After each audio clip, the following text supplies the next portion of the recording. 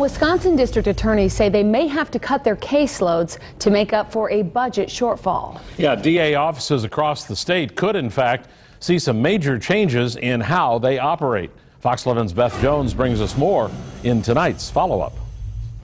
Marinette County District Attorney Allen Brey says his caseload may soon be on the decline, but not because of fewer crimes. Tuesday night, the Association of State Prosecutors rejected a state proposal that included temporary pay cuts and furloughs to make up a budget shortage. If an agreement isn't reached between the association and the state by this weekend, statewide full-time assistant DAs will have to take a 20% cut in hours and benefits and 10% cut for part-timers. Brey says those cuts will be felt weekly since they impact two of his employees. The net is I lose 37 hours of lawyer production in this office. Brey sent a letter to the Department of Administration yesterday asking it to decide what crimes the administration wants to cut from his caseload. Brey feels the community will suffer. I will have to cut. The only question is where. If they tell me stop prosecuting domestic violence cases, that's what I'm going to do.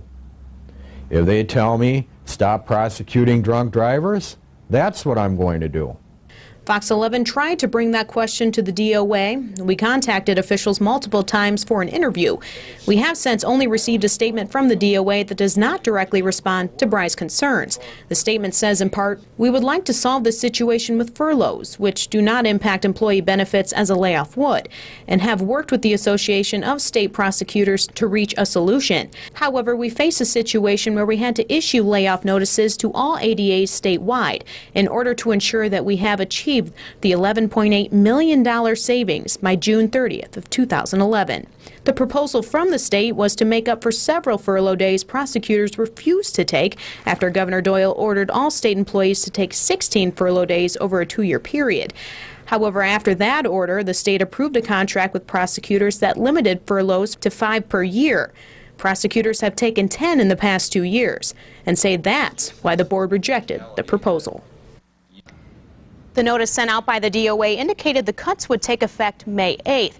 The association's board says it will meet soon to consider legal options and to determine the next step. Live in the News and Content Center, Beth Jones, Fox 11 News.